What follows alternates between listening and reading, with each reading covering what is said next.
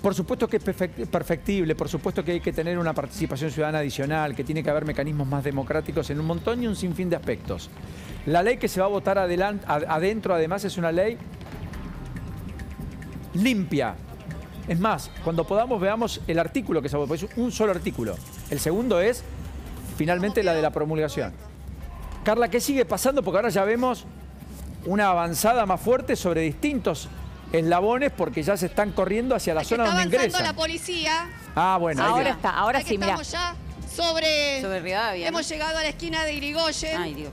Eh, ahí vemos una avanzada de la policía, un gran cordón de la infantería, pero sin embargo, eh, muchas de las columnas que se fueron dispersando, hay algunos que vuelven y que tiran piedras a lo lejos hacia justamente estos policías. ¿eh? Hay un grupo Sí, el tamaño de los cascotes, además. que sigue tirando, sí, sí, agarran lo que pueden, lo rompen y lo revolean. En este caso, ya no tanto hacia el Congreso, sino ahora directamente todas las piedras apuntan a esta línea de infantería de la policía que, ha, que está avanzando sobre Irigoyen hacia el lado de Entre Ríos, pero Muchas de las columnas de los manifestantes que estaban acá se dispersaron, obviamente.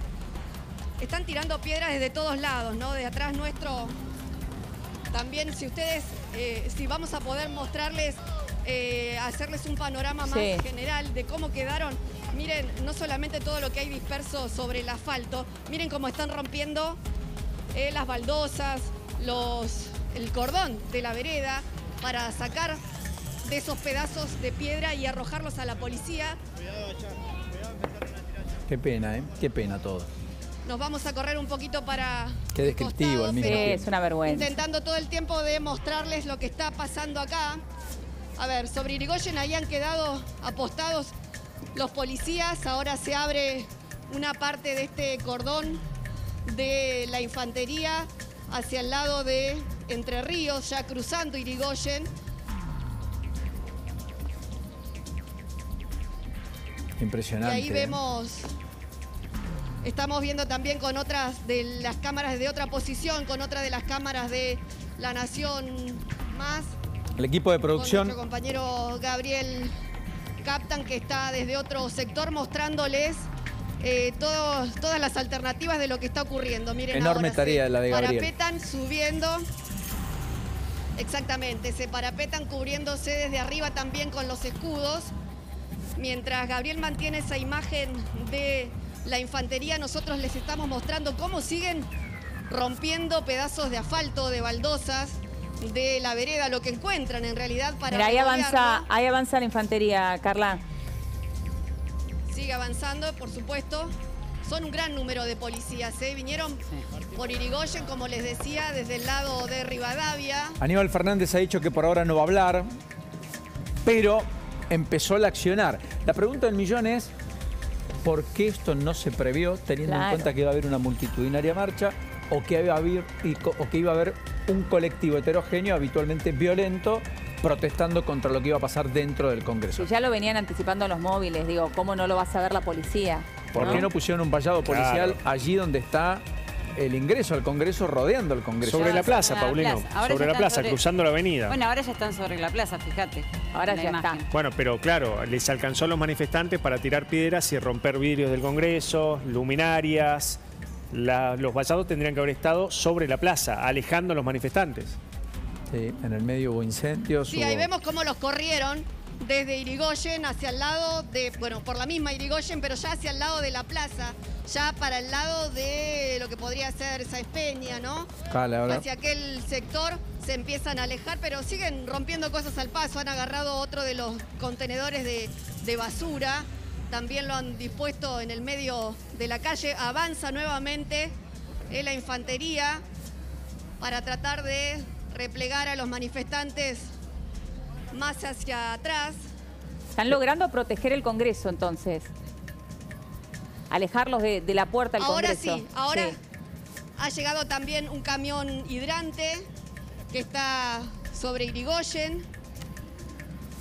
Lo han dispuesto, yo les diría que tarde, ¿no? Porque no había absolutamente ningún policía acá cuando todo esto se originó y nosotros ya hace eh, varios minutos que estamos mostrándoles y contándoles todo esto que está ocurriendo.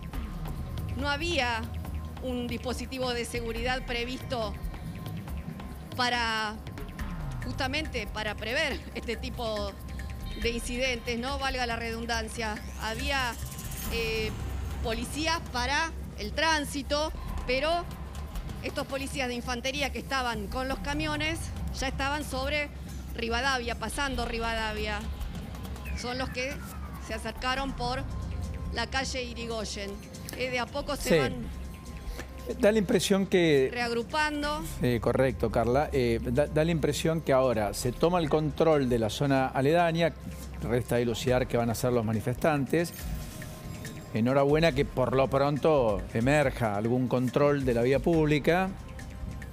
Este es el estado presente, quiero Sí. decir, aunque sea Miren cómo tardío, ha quedado esta parada de colectivo.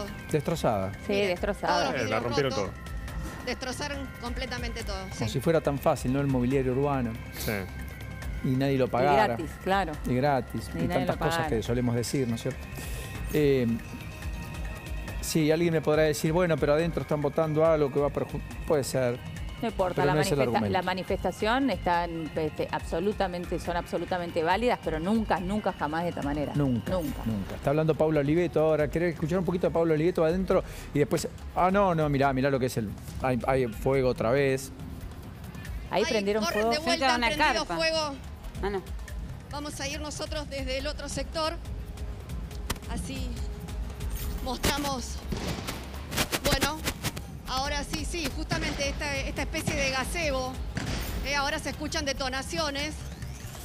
Hay corridas de los Ya se vieron- manifestantes. Sí, se vieron algunas armas. Sí. La policía.